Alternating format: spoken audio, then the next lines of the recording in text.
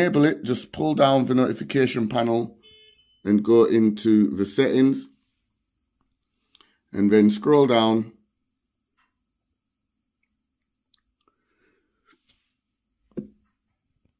to where it says device care. And here you will see app protection. So when you first get the phone, it will be switched off. So just go ahead and turn it on.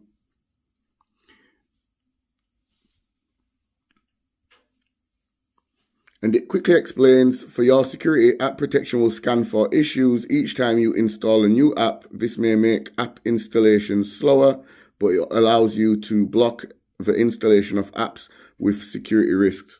So go ahead and turn it on. And from here, you can now scan the phone for any malware or virus.